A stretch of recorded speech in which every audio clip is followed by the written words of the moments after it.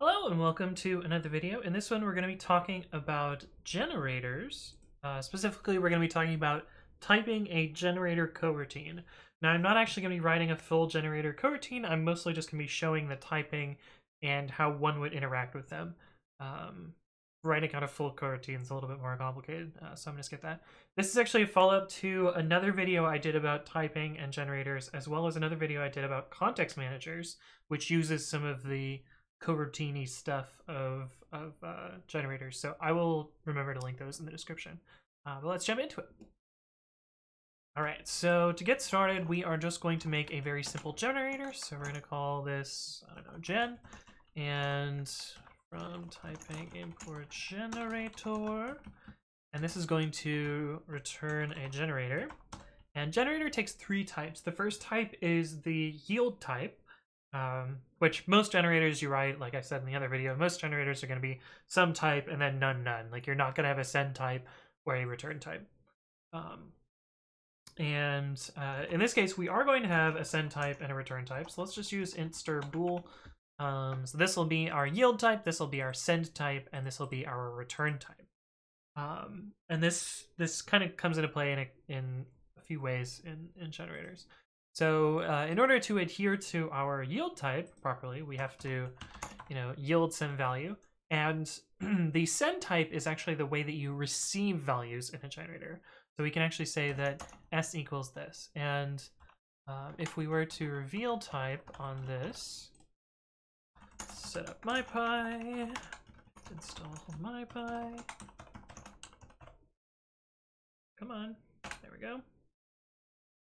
We're missing a return statement because we haven't done the the return type yet.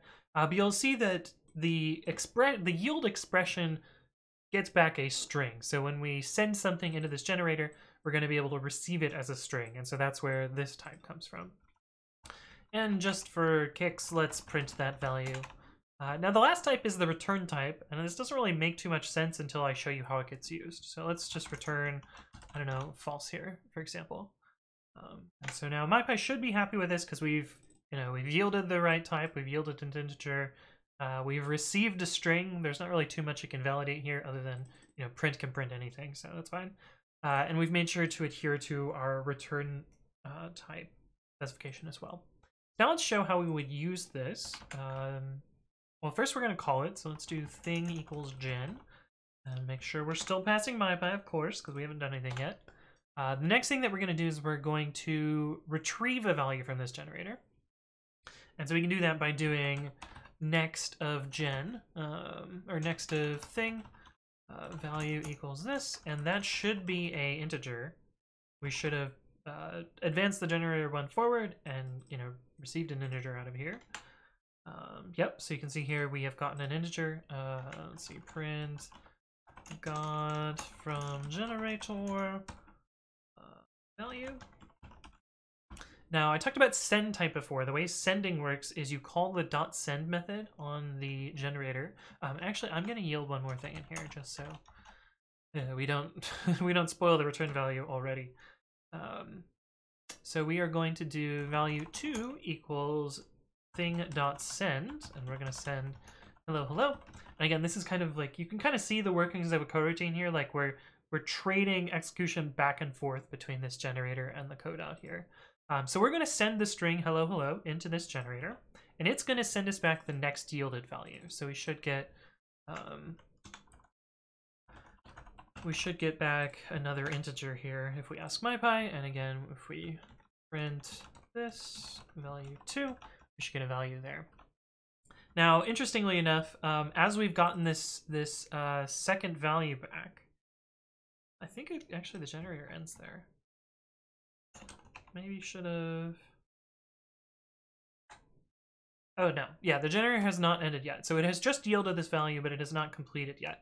If we were to ask the generator for something more, so let's say we called next on the generator, next on thing, uh, this will advance past this yield statement and um, you know run run the imaginary code that's here about to end. I guess we could show that before we do this. So this about to end has not run yet. Um, but as soon as we call next on this, you'll see that it prints about to end, and then it raises stop iteration. And Stop iteration is what happens when either the end of a generator function happens and there's an implicit return none, or you have an explicit return statement. In this case, we return false.